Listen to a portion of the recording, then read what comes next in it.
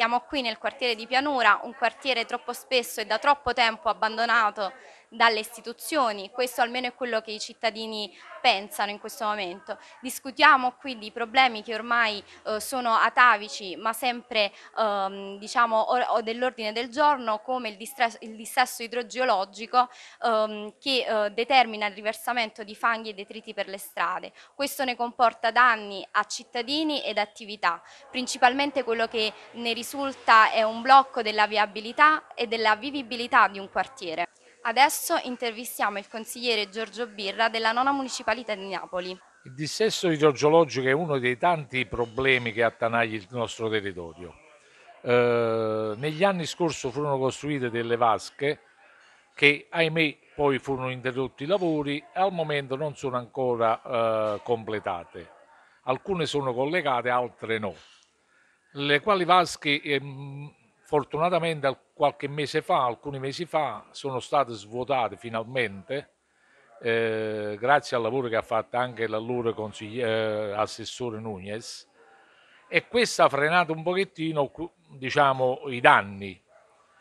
Eh, al momento stanno, oh, stanno riprogettando le vasche, però bisogna anche eh, che il territorio sia monitorato perché se mentre progettano e poi vanno a realizzare i corsi d'acqua vengono deviati magari dall'abusivismo o dagli sbancamenti abusivi che si fanno sopra le colline, la situazione riverrà, non risolveremo il problema non solo, ma, uh, ma aggraverà ancora di più il territorio.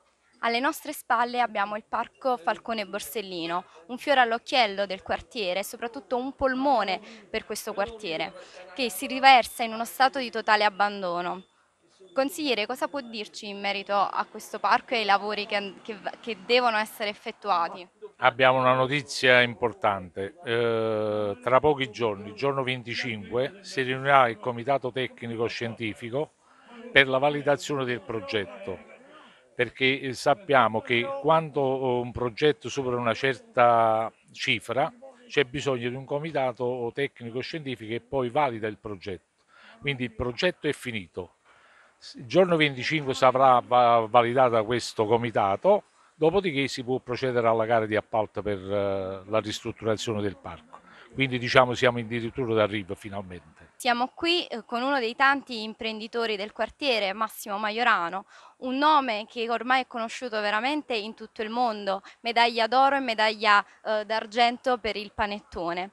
Uh, qui uh, il signor Maiorano è, stato uno dei tanti costretti con le sue stesse mani a dover ripulire quelli che erano i detriti e i fanghi portati giù dalla collina dei Camaldoli. Un, una situazione ormai insostenibile al quale chiediamo qual è il vostro timore attuale? Sì, noi ab abbiamo paura quando piove di quello che succede perché ovviamente siamo costretti a pulire noi personalmente ma non riusciamo più a lavorare, abbiamo paura per il nostro negozio e ci dobbiamo difendere, non possiamo fare nemmeno forniture, siamo costretti a chiuderci dentro. Chiediamo quindi risposte al consigliere Birra. Eh, indubbiamente bisogna intervenire e intervenire eh, con, eh, con urgenza. Non possiamo lasciare il territorio in questo stato, ma soprattutto, ecco, noi abbiamo qui un'eccellenza del territorio che va salvaguardata, anche perché è, diciamo, è un'azienda che adesso può soltanto crescere, nascere e, e svilupparsi e dobbiamo far sì che questa azienda ecco, vada avanti e progredisca come questa tante altre, ma questa qua è un'eccellenza.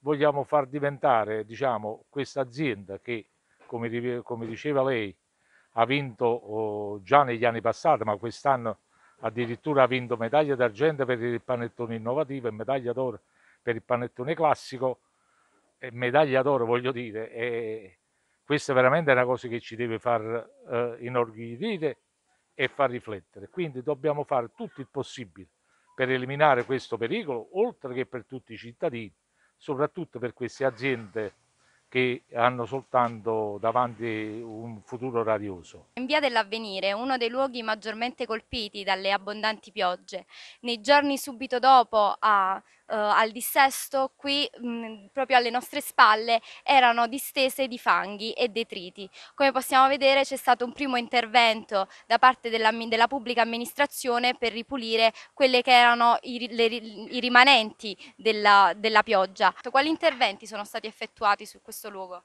Allora, nell'immediato qui è intervenuto ABC perché come vediamo qui c'è una conetta, praticamente c'è un, un, ribassamento della strada e dove praticamente poi si raccoglie maggiormente il fango. I cittadini si sono lamentati, addirittura avevano paura di un dissesto del fabbricato, per cui in questo posto qua è intervenuto ABC che si ha ripulito e sta facendo le verifiche eh, magari anche per apportare qualche modifica all'impianto fognario. Come vediamo i fanghi qua sono stati rimossi, ma perché noi chiamammo dei volontari, dei cittadini, degli imprenditori che intervennero con mezzi propri e i fanghi sono stati accantonati come li vediamo lì eh, nel parcheggio in attesa poi di essere smaltiti nel modo giusto e dovuto. Come possiamo vedere è qui che sono stati ammassati tutti i detriti che erano riversi per le strade. Naturalmente sono qui in attesa appunto dello smaltimento, ma questi nelle, uh, te, con le temperature più calde andranno a, um, a, diventare delle polveri che i cittadini respirano.